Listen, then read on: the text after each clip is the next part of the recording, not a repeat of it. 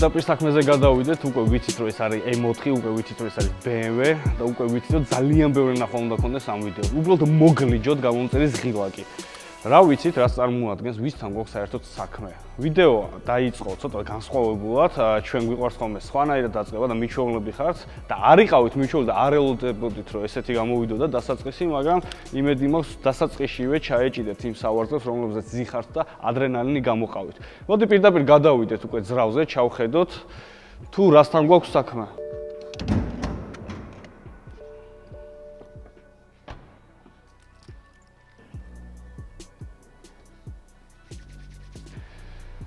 ძრავზე ძალიან მნიშვნელოვანი რაღაც მინდა გითხრათ, ეს უამაზესი კარბონი. კარბონი არის სპორტლოვასო ხას უსმენს, ეს ყველგან მინდა ყველა ვიდეოში რა აღნიშნო.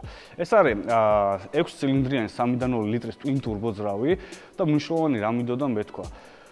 ახალ მოდელებში, რომელიც ჩვენ გადავიღეთ, იგივე M6 და M5, იგდევს ერთ და იგივე ძრავი, 8 ცილინდრიანები, ეს არის განსხვავებული, 6 ცილინდრი არის და ეს 6 ცილინდრი გამოიმუშავებს 425 ცხენის ძალას და 550 ნიუტონს. ზუსტად მაგიტომ ისე არის დანასტროიკებული, ლაგი არ ქონდეს, როდესაც დამარხავთ გაზის პედალს ტრეკზე, როგორც ჩვენ დღეს გავაკეთეთ ეს, არ უნდა ქონდეს ჩავარდნა და ეგრევე ეს მთელი ცხენის ძალა უნდა მოდიოდეს და გასიამოვნოს. საინტერესო ის არის, რაც მინდოდა მეთქვა, რომ ერთანაირ ძრავები, როდესაც დევს იქ, ჩვენ რაღაც მივეჩვიეთ, რომ უკვე E92-ში, წინა მოდელებში, წინა მოდელში უფრო სწორედ იყო 8 ცილინდრიანი. მაგრამ მაგ პერიოდში მეხუთე სერიაში იდო და მეექვსე სერიაში 10 ცილინდრიანები. ეხა ისევ გადმოვიდნენ ერთი საფეხურით უკან, ერთ საფეხურში გულისხმობ რომ ანუ ცუდი რაღაც არ გაუკეთებიათ პირიქით. ორი ცილინდრით შეამციეს M6 და M5 გახადეს ვერვა twin turbo-ები, ეს გახადეს 6 ცილინდრიანი twin turbo. ეს არის ერთ-ერთი ყველაზე ძლიერი twin turbo 6 ცილინდრიანი და ზოგადად BMW განაგზობს ამ 6 ცილინდრიანების წარმოებას, რაც ძალიან მაგარი არის.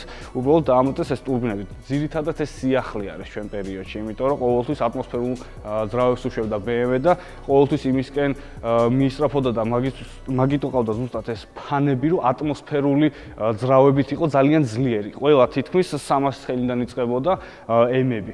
E36, E34 და ნუ E39 უკვე 300 კი არა 400 პლუსით იყო და ასე შემდეგ. ერთი მხრივ კარგია, კი ბატონო, მაგარია, იმიტომ ერთნაირი ვერ გამოვიდო და ამაშიც იგივე ძრავს 8 ცილინდრს ვერ ჩადებდნენ, მაგრამ მეორე მხრივ ის ხალხი, ვის ვინც ფანია ამ 8 ცილინდრიანის, როგორც მე, რაღაცა ცოტათი აკლია, რა თქმა უნდა, განსხვავება მაინც არის 8 ცილინდრიანსა და 6 ცილინდრიან შორის, მაგრამ ამ განსხვავებას ტრეკზე ვერ გზნობ. ნუ იქ პატარ-პატარა ნიუანსები არის უკვე ხმაში, დაბალ ბრუნებზე, აჩქარებაში და ასე შემდეგ. ну ბევრთვის ეგ შეიძლება მნიშვნელოვანი არ იყოს, მაგრამ მე ყურადღებას მაინც ვაქცევ. უკმაყოფილო ნამდვილად არ დამტოვა, ამიტომ ერთი დიდი პლუსი შეგვიძლია დაუწეროთ ამ performance, რომელსაც თავაზობს BMW და ნუ ზოგადად BMW მაგაში ცნობილი რომ ყველანაირი სიახლე უნდა ჩადოს და ეს M სერიები ზოგადად მაგათი ესეთი ნუ ყველაზე კარგი ნამუშევრები არის, იმიტომ რომ მაგითი ამაყობენ. მოდი დავაფაროთ, იმიტომ რომ მირჩევნია გარედან ვილაპარაკოთ უკვე ამ მონსტრზე. ძალიან ბევრი არასტანდარტული, ანუ არასტანდარტულში გულისხმობ არაქარხულ ნაწილებს, როგორიც არის მაგალითად ეს ტუჩი, იგივე ეს მისაკრობი კარბონის ნაკალტკები. გადმოვიდეთ გვერდზე.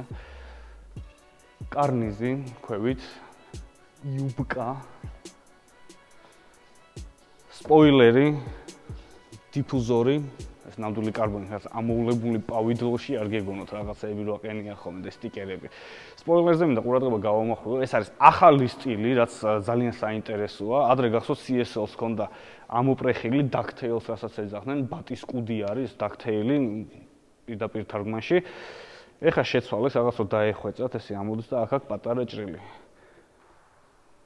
რავი, აი მაგ სპოილერს თუ კიდე გაუმჯობესებდნენ რომ რაღაც ახსიახლე შემოეღოთ, მაგას ვერ ვიფიქრებდი და ჩემი აზრით ძალიან მაგარი არის. სახურავის არის კარბონი, ეს არის ოფცია, ან თუ თქვენ გინათ რომ კონდეს თქვენ ავტომობილის ლუკი, როდესაც ყიდულობთ ცენტრში, ირჩევთ ან ჩვეულებრივი სახურავია და ალუმინის და აქვს ლუკი, ან იღებთ კარბონს და უბრალოდ ეს ლუკი გაუქმებული. რა თქმა უნდა, ყველა მიდის იმისკენ რომ უნდა აიღოს კარბონი, იმიტომ კარბონის ბევრად მაგარია. ან ვიზუალურადაც და ზოგადად ჩატეა და ნუ ზოგადად ყველანაირად სპორტულობას ხას უსმევს და მარტო სპორტულობას არა, ფასსაც რა თქმა უნდა. წინ ნომრები არაყენია, ბევრად აგრესიულია, უკან ხედავთ რომ მანქანა არის ტრანზიტებზე და ჩვენი ვიდეოებიდან უკვე ხვდებით, მანქანა ხვდება თუ არა ჩვენთან, ჩვენ ქვეყანაში, ჩვენ ქალაქში ეგრევე, ეგრევე უნდა მოინათოს და ეგრევე პალაჟენია უნდა გაუიასდეს, რომ აქ მთავარი ჩვენ ვართ.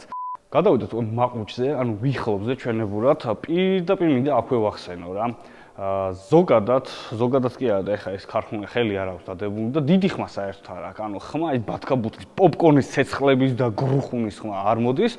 და ზოგადად თუ შეამჩნიეთ ვიდეოებიდან გამომდინარეც კი BMW-ს უფრო პატარა ხმა აქვს, ანუ ჩუმია, უფრო ვიდრე Mercedes-ი. ამ თემას მე განვავრცობ ზოგადად BMW Mercedes-ის თემას, ანუ ვიზუალურად მინდა დავამთავრო, აი პირდაპირ ვიძახი ყველა კუთხე ყველანაირი უზორი, ყველა ხაზი მომწონს, ამიტომ რო არ დავდგე და დიდი ქება დიდება რო არ მივაყარო, აქვე ვიძახი რომ ვედროთი შემიძლია ეს ლაიქები მივაყარო ამანქანას. და ზუსტად გადავიდე იმ თემაზე, რომელიც მინდა აგიხსნა და ზოგადად ჩემი გულის ტკივილია რაღაც მხრივ. BMW Mercedes-ის თემა. ამ ვიდეოს ვისო ძალიან ბევრი უყურებთ, BMW-ს ფანებიც და Mercedes-ის ფანებიც უყურებთ და ზუსტად მაგიტომ მინდა გადავიდე უკვე ჩემთვის ძალიან მნიშვნელოვან თემაზე. როდესაც ჩვენ ვიდეოს ვდებთ ხოლმე ამ BMW-ზე ან Mercedes-ზე, კომენტარებში ძალიან ცუდი კომენტარები იწერება, ოღონდ ცუდი კომენტარები იწერება ერთმანეთის მიმართ, ანუ მე კი არ მიწერენ ცუდ კომენტარებს და მე კი არ მეუბნებიან რაღაცა, ანუ ერთმანეთს უწყებენ ჩხუბს, აი მაგალითად BMW-ს ფანები ეჩხუბებიან Mercedes-ის ფანებს და ჩხუბში გულისხმობ შეურაცხყოფას. მე Mercedes-ის კომანდა აყენებს შეურაცხყოფას BMW-ს კომანდას. წერენ რომ უყურებ შენ ვიდეო, შენი ფანი ვარ, აი ესეთი მესიჯები მომდის და შენ Mercedes-ის ფანი ყოფილხარ, მე მოდის ეგ და მე BMW-ს ფანი ყოფილხარ რა. მართლა გაინტერესებს რომელის ფანი ვარ, აი Mercedes-ის თუ BMW-ს? სიმართლე გითხრათ, ერთის კიდია და მეორეს. და ყველაფერს თავი დავანებოთ. ორი Mazda მყავს, ერთი Nissan Silvia და მაგრად მევასება ამერიკული მანქანები. მე მაგალითად ვიყიდი იდი პირდაპირ თუ გაინტერესებს და ეს ერთმანეთს ხოცავთ იმის გამო თუ რომლის ფანი ვარ და თუ გონიათ რომ ერთს უფრო ვაქებ და მეორეზე სულს ვიძახი, ეგრე არ არის. იმიტომ რომ მე ამერიკული მანქანები ძალიან მაგრად მევასება და სიმართლე გითხრათ, აი რაღაც ცოტა მაღალფასიან მანქანებში ეხა რო ვყიდულდე რაღაცას ვიყიდი მაინც ამერიკულ მანქანას, იმიტომ რომ ის 8 ცილინდრიანი ჩემს არის ყველაფერი. არ მაინტერესებს შინ სალონში როგორც ვიძახი ხოლმე გადადნობილი სანთებელებისგან იქნება ტორპედო გაკეთებული თუ ტაბურეტკაზე ვიждები ჩემთვის არის მთავარი კონდეს მანქანას 8 ცილინდრი 3 პედალი გადაცემათა კოლოფი იყოს მექანიკა ბერკეტი კონდეს ისეთი რომ მე ვაწვალო და ხელში არ შემჩეს და რაღაც არ დაიშალოს. დანარჩენ უკვე არ მაინტერესებს. ამიტომ რისი ფანი ხართ და როგორ ხართ ეგ თქვენთვის მომინდია თქვენ გემოვნებაში მე არ ვერევი, მაგრამ ერთადერთი თხოვნა მაქვს, ერთმანეთს უცეთ პატივი, ერთმანეთის გემოვნებას პატივი უცეთ, მოსაზრებას პატივი უცეთ და ერთმანეთი არ დაუხოცოთ BMW და Mercedes-ის გამო. ნუ დანარჩენებზე უკვე აღარ ვაპარაკობ, იქ ამბიციების ხვებსაც აქვს, მაგრამ აქტუალური თემა Mercedes-ი BMW იყო. ეხლა შეგვიძლია გადავიდეთ სალონში, მოგიყვეთ ეს მანქანა, თუ დრიფტში როგორ დგას, როგორი აჩქარება აქვს, ზოგადად რას ფიქრობ ამ მანქანაზე და რა ემოციები დამიტოვა. წავედით.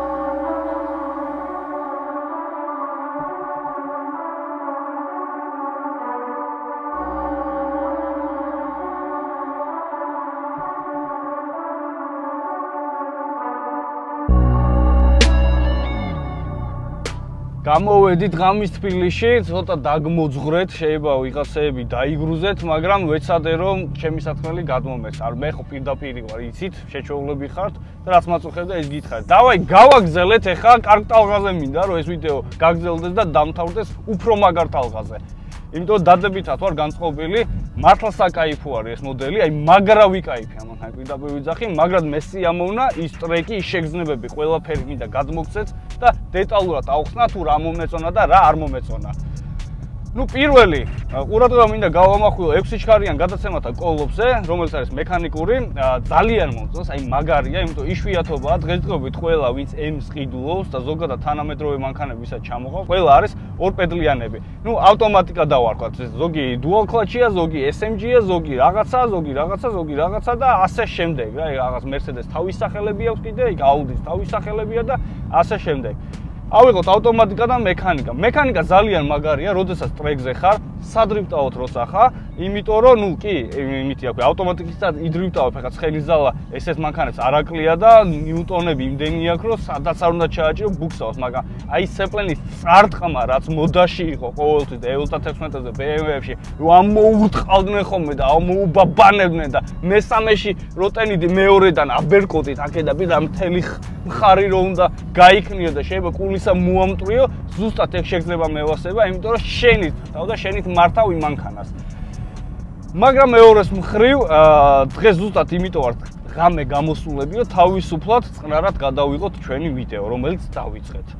ღამის თბილისი ძალიან მიყვარს, მით უმეტეს მოძრაობა რომ ცოტავდება, ეგ უფრო მაგარია და მაგაზე მინდოდა მეთქვა. მექანიკას ყიდულობ, ეხლა რაღაც წლების წინ, ერთი 10 წლის წინ და 20 წლის წინ შეიძლება მექანიკა ყოლოდა და დისკომფორტს არ განიცდიდი, იმიტომ რომ მოძრაობა არ იყო იმდენად გადატვირთული, რომ რაღაცა იქ გაწვალებული ხავე. დღესდღეობით მექანიკა, როდესაც ყავს, აი მე ხა მაგალითად ყველა მანქანა მექანიკა მყავს, ნუ იცით ის Mazda იგივე RX-7, ის RX-8 მექანიკა იწყობა და ნუ რაც ყოლია თუ რაღაც რაღაც GPR არის ან რაღაცა ისეთი, ყველა მექანიკა მყავს. გამოდი ხარ მექანიკით ქალაქში, ხვდები ეგრევე საცობში. ანუ სამსახურში მიდიხარ, საცობში ხარ, სამსახურიდან მოდიხარ, საცობში ხარ. დილით ადრე სადმე მიდიხარ, მაინც საცობში ხარ, შუა დღესაც მიდიხარ, საცობში ხარ, ანუ ყველა დროს საცობში ხარ და რეალურად ამ მექანიკით რასაკეთებ?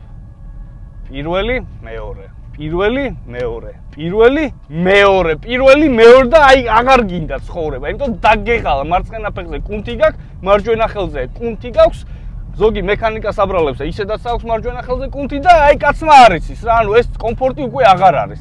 ამიტომ თუ თქვენ მეორე მანქანად იყიდით M4-ს, მირჩევდით მექანიკას, რომ აი ღამე ჩვენაერთ რომ ისე იგნოთ, მაგრა ისიამოვნოთ და მანქანისგან სიამოვნება მიიღოთ ტრეკზე და ქალაქში, კი ბატონო, იყოს მექანიკა, მაგრამ თუ თქვენ ერთ მანქანას ყიდულობთ და ყოველდღიურად გინდათ რომ აი ქალაქში ტრეკზეც ჩქარა იაროთ, ყველაფერი გააკეთოთ რაღაცა და თან სიამოვნება მიიღოთ იმ საცობებშიც, მაშინ უნდა იყიოთ ორპედლიანი ავტომატიკა, ანუ ის dual clutch, რომელიც არის M4-ებში.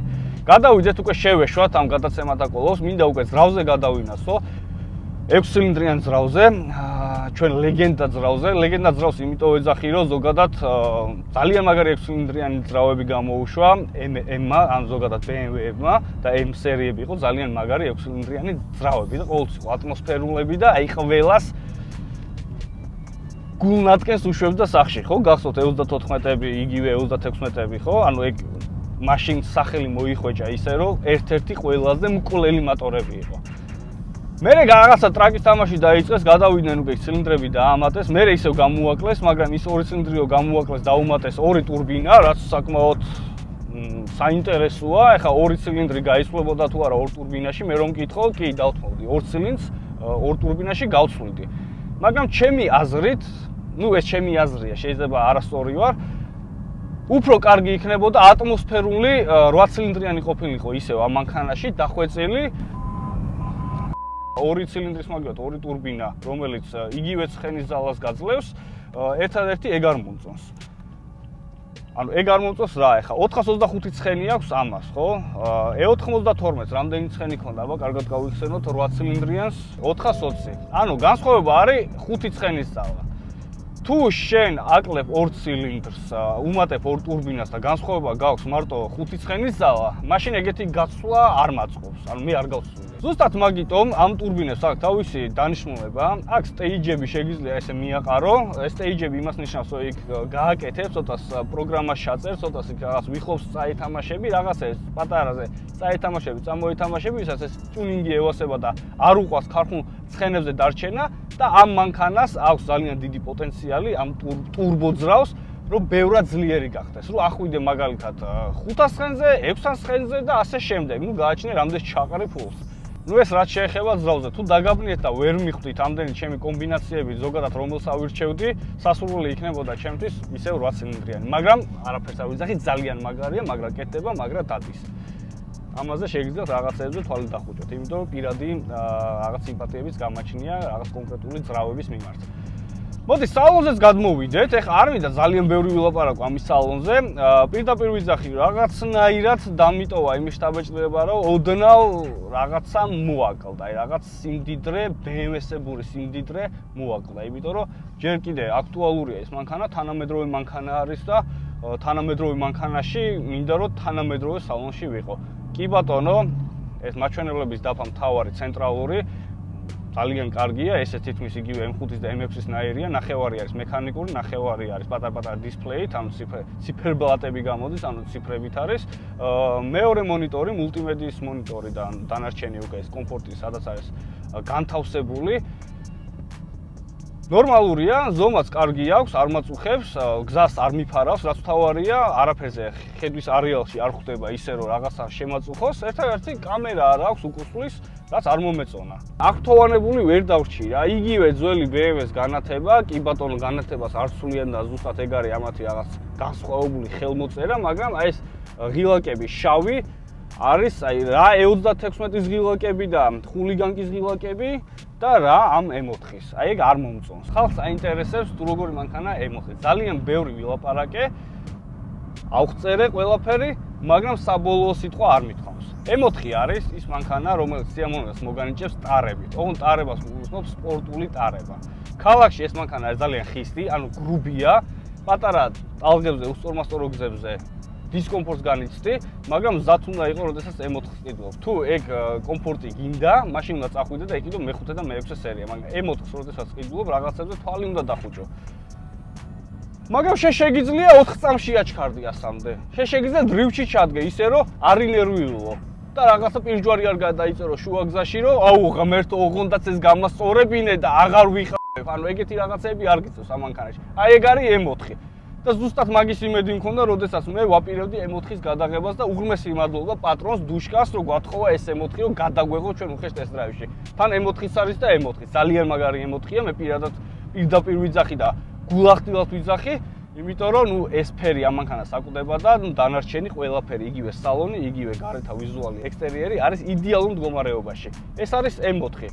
რა არის M4? M4 არის სტილი, ეს დიზაინი, ექსტერიერი ძალიან დიდხანს გაკაჩავს, აი ძალიან დიდხანს ხალხს არ მობეზრდება ეს დიზაინი, მაგაზე თავს დავდებ, დარწმუნებული ვარ და კიდე უამრავი ბოდიკიტი არსებობს ამ მანქანებზე, რომლებიც ჯერ კიდე არ უყენიათ საქართველოში. ეს ის მანქანაა, რომელიც ცოტა ხანში ყოველი მეორე ვინც შეიძლება იქნება გაჩიპული stage 1, stage 2, stage 3 რაღაცებს ჩაწერენ და ყველა იფრენს და პოპკორნიც ექნება გულში წელიდან უკანა მხარეს ბატკა ბუტკის და კალაშნიკოვის ხმაც იქნება. დარწმუნებული ვარ, რამოდენიმე წელიწადი უნდა კიდე რომ ცოტა გაიაფთეს. ესეც მანქანას უფრო დიდი ხმა უნდა ქონდეს, უფრო ბოროტი უნდა იყოს. აი, უ თავისით რაღაც ვითომ კომფორტული ხმა არ უხდება რა. უნდა ანგრევდეს, აი, გვირაბში მივიდი, აი ხა მეორეში ჩავაგდე, ხო? ავიღოთ 8 წლინდა შევადავართ ხმას. აი ხმა არ მოდის, აკი? ცხენიზალას გზნობ, ბუქსაობას გზნობ, მაგრამ ხმა არ არის. გინდა რომ აი დაინგრეს გვირაბი და ჩემი ფეხები არ ინგრევა გვირაბი. ბუზი არ ფრინდება. ამიტომ პირველი რაც უნდა გააკეთოთ, ემოთხრო დაიქცევთ. ა შუაზე უნდა გადაჭრათ ის ვიხლოპი, ან უნდა დააყენოთ ახალი. გადავიდეთ თავარზე, ფასი ყველა საინტერესოს M4-ის ფასი, მეორადის ფასი იწყება 30000 დოლარიდან. არსებობს კიდე competition ვერსიები, არსებობს კიდე GTS ვერსიები, ეს GTS ვერსია ძალიან რთული საშონელია და ზოგადად ბევრად სპორტულია, ბევრად სპორტულობაში იგულისხმება. მაგალითისთვის რომ მოვიყვანო სალონში უსაფრთხოების კარკასიც კი აყენია ქარხნულად. ამიტომ ხვდებით უკვე გრაფასებს ზიადის. 30-დან როდესაც გულისხმობ იწყება, შეიძლება 40 იყიდო, შეიძლება 50-ად, შეიძლება 60-ად, შეიძლება რაღაც გასაკუთრებული ვიღაცის მანქანა სუქარხული იპოვოთ, კიდე 100 რაღაცა გადაიხადოთ. ამიტომ შეუძლებელი სტანდარტული M-ი რო ავიღოთ, აი როგორშიც ვზივართ, ფასი არის 30 C-ით. გადავიდეთ უკვე შეჯამებაზე რაღაც რაღაცეების, იგივე წვაზე გადავიდეთ, პირველი ვახსენოთ, იმიტომ არ ვიხსენებია. აი ქარხნულად რა ეს BMW-ში რო უწერიათ, რომ აი კატალოგს უგადაშნიას ალ ინტერნეტში შეყოლ და 12-13 ლიტრი რა. რა 12-13 ლიტრი ჩვეულებრივი ძრავები, არა ემი არ წავს 12-13-ს და გაბაბანებული 17 ლიტრია რა რო ჩააკრო და დააგორო მაინც 17 წერა. ყველაფერი რო ითიშება, იქ ინთება 17 ლიტრი. ამიტომ ხვდებით რომ ეგეთი რაღაც არის წარმოუდგენელი, ან 12-13 litrს ვერანაირად ვერ დაწოვს.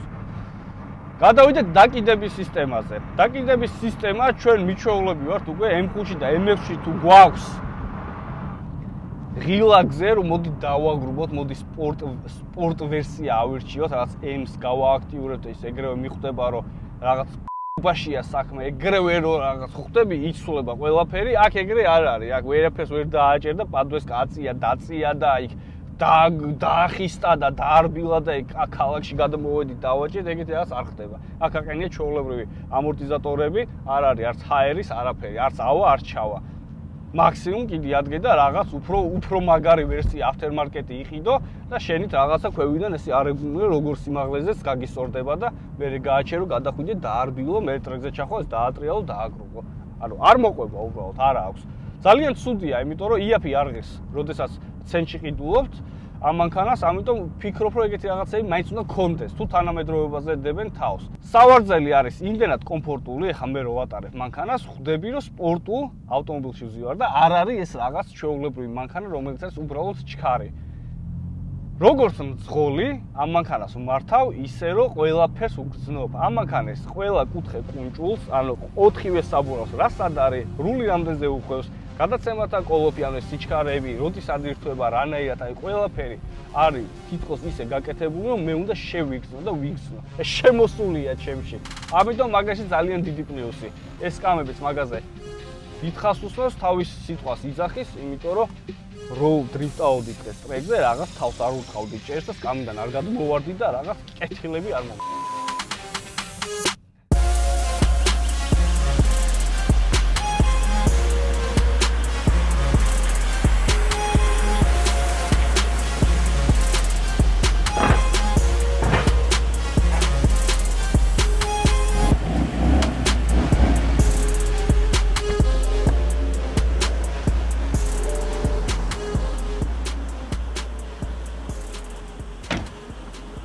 და რა სიფათით იყურება რა რა როჟია ვაფშე ეს მანქანა ის ოსტა ხო აკვირდებს და მე არ მეგონება არავინ აი პირდაპირ ვიძახე ჩემ სამეგობროში და ჩემ საახლობლოში ვინც იტყვის რომ აი მოთხი არ მოწოს აი პროსტო არ მეგონება ეგეთი თქვენთან თუ არის ვინმე ну არ ვიცი, ესე იგი რა მანქანაზე ოცნებობს, არ მომიდგენია, მაგრამ ნუ მე არ მეგუნგება და პირდაპირ ვიძახი, რომ ეს მანქანა მომწონს. სანამ დავამთავრებ ამ ვიდეოს, ვიძახი, რომ ეს მანქანა ჩემს არის ერთ-ერთი იდეალური მანქანა. პირდაპირ ვიძახი.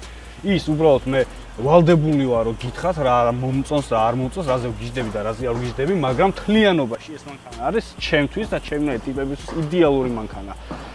კიდე მოდი პოტენციურ მყიდველებს შევეხოთ საქართველოში რაღაც ცოტა მივივიწყე ჩვენი პოტენციურ მყიდველები მაგრამ ამ შემთხვევაში M4-ის პოტენციურ მყიდველებს ჩემგან დიდი რესპექტი იმიტომ მე არ მეგულება არავინ ვინც იყიდა და აი პროსტა უყენია და ეგ რაღაცა ტილო გადაუსვა და ეგ რაღაცა.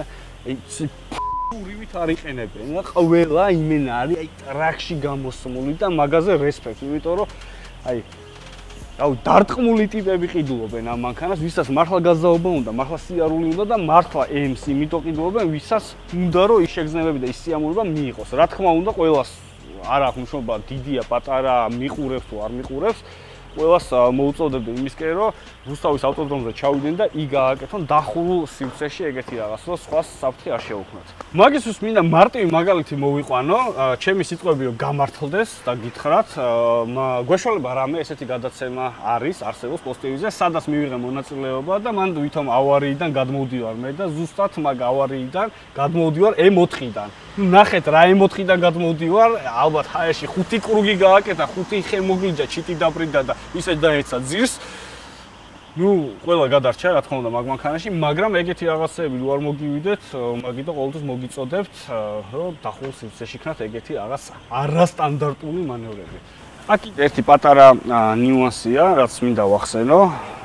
იმიტომ რომ ბევრს ეხა ზოგადად ბევრი ადამიანი იგივე საქართველოს უგუნდები მეორე მანქანად ვერ ყიდულობს და უბრალოდ აგროვებენ ფულს, რომ იყიდონ ერთი მანქანა. თუ თქვენ დისკომფორტს განიცდით, მაგალითად ორი კარით კუპეთი, შეგიძლიათ იყიდოთ მესამე სერია, ანუ M3, რომელიც არის იგივე თითქმის, იგივე ძრავით, იგივე გადასაღათა კოლობით, იგივე მანევრი აქვს, იგივე წონა, ანუ ყველაფერი აქვს იგივე, მაგრამ აქვს 4 კარი, არის სედანი. ბევრი საშუალება მოგვცა BMW იმისთვის, რომ რაღაცები ავარჩიოთ და ჩვენ გემოზე როგორც გაგვისწორდება, ისე გავაკეთოთ და ის იმაში გადავიხადოთ ფული. ერთი დიდი პლუსი კიდე, ორივე დრა მივაყაროთ თუ გინდათ ლაიქების. მეც ვერაფერს ვერ ვიტყვი, დანარჩენი უკვე ნახეთ, სიარული ნახეთ, ჩემი შეფასება ნახეთ, ზოგადად მანქანა დაათვალიერეთ ყველაფერი ფოტოგუნჯული. მეც ვერაფერს ვერ დავამატე. მე ვარ გიორგი სარეშვილი, ეს იყო ჩვენი უხეში ტესტ-დრაივი BMW M4-ზე მომავალ შეხვედრამდე. დროებით.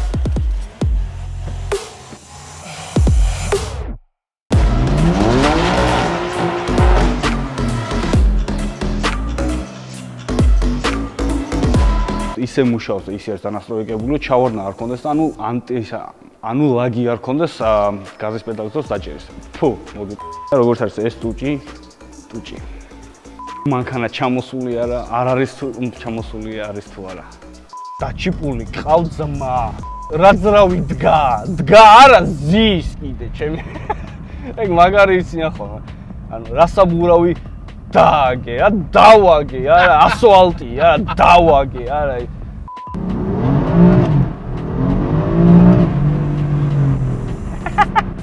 აი მოგიჭი და შეშევა.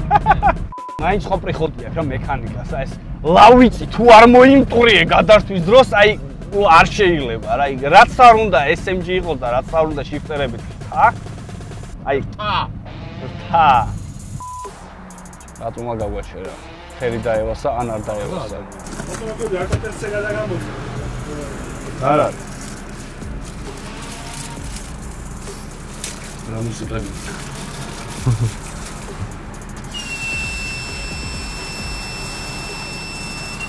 საერთოდ გამოდრეთ ეს. ნახონდის. ნახონდის. ლარა და გაგლეჯინი თრალი ხარ რა? ბენოთი ვართ ძამაო გამე ბიჭები გამოსულები სანადიროთ. მოჭოლი რაღაცას ვაფუჭებ.